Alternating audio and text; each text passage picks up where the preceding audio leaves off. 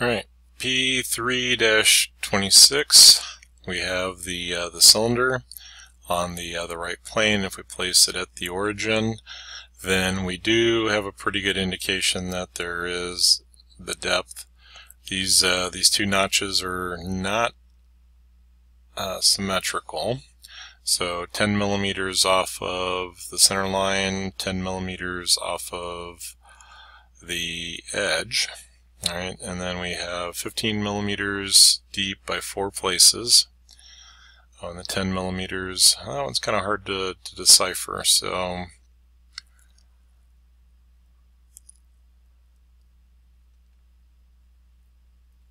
10 millimeters back, 10 millimeters up, and then the slot is 12 deep from the center line.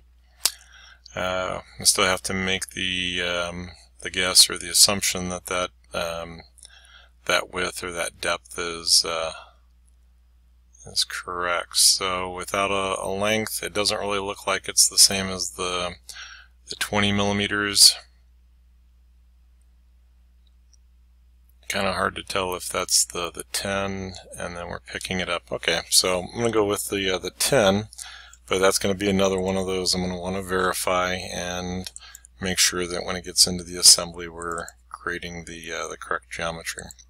So opening a sketch on the right plane, we'll generate our circle, put in the uh, diameter of 40, and I want to extrude this from the uh, from the right plane. We're going to give it a direction of midplane and then its overall will be 80 millimeters. For our end geometry, let's uh, divide this up, so the front plane. And I know that I'm going to be mirroring across um, both both axes. So I'll go ahead and put in the horizontal and the vertical and we'll just do a quick check that it is uh, both were defined. Alright, so 10 millimeters on the width.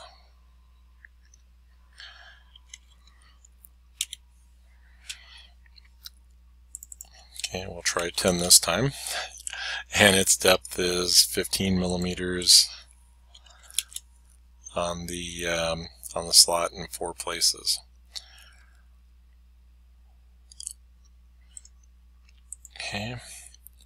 And then we will pick up that geometry and mirror.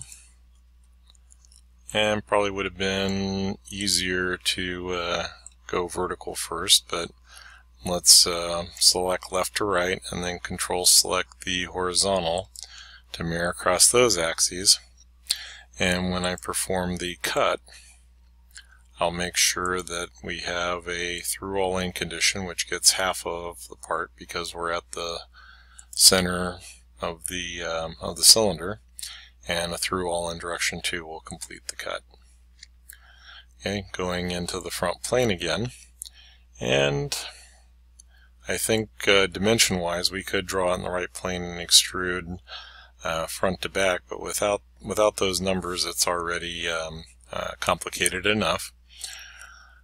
Alright, so we're coincident to the, uh, to the top of the cylinder, but I would like to find that silhouette edge again, so if I select the midpoint and drag along until I see that cylinder with a line through it, then I can make that the midpoint.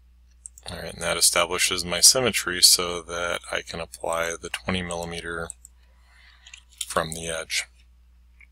Alright, and then this depth becomes uh, 10 millimeters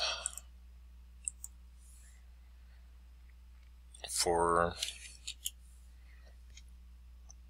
for its depth.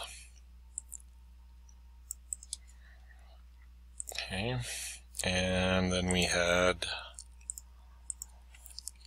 10 millimeters off of the other side. Now let's go for that silhouette edge again. So select midpoint, dragging until I see the cylinder with the line through it for the silhouette edge, and then we pick up the midpoint. Right, and then it has the note that this slot is 12 millimeters deep and 12 deep from center line. So let's um, undo that. And I'll go back, uh, we can go to the origin and to our geometry and get the 12 millimeters. Alright, so for the depth then, to get to radius of 20, then of course that would be 8 millimeters. Alright, so the extrude cut, we'll cut through all, and this time I'm just going to do through all both, so if we didn't do through all um, for direction 1 and didn't do direction 2, it would only go one way, so through all both is um, going to be, uh, be our pick.